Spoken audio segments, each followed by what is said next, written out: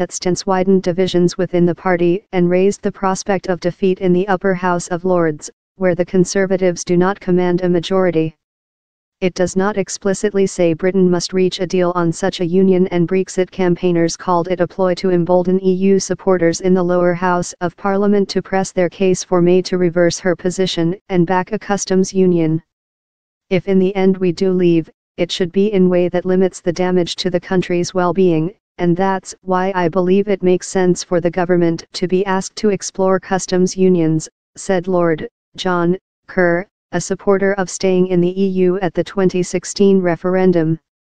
His comments were met by criticism from pro-Brexit peers, who agreed with Viscount Matthew Ridley who described it as an attempt to wreck this bill and wreck Brexit, a charge denied by those proposing the amendment.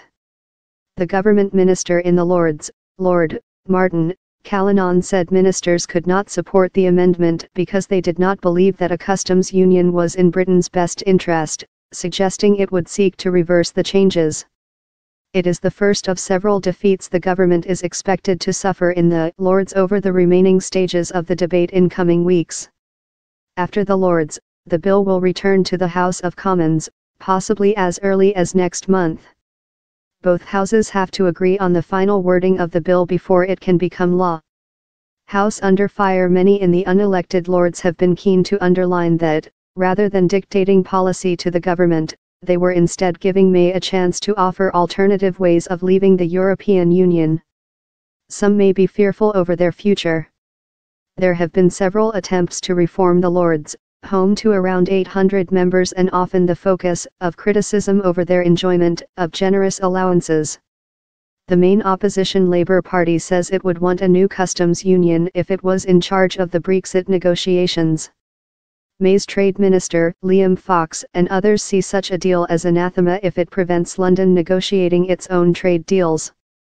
But a customs union that sets external tariffs for goods imported into the EU, and allows them to flow freely, would offer a solution to the problem of ensuring no return to a hard border with the bloc on the island of Ireland. According to one of her former officials, May could seek a compromise on a customs deal if it meant safeguarding the Union of the United Kingdom by preventing the return of a hard border with EU member Ireland.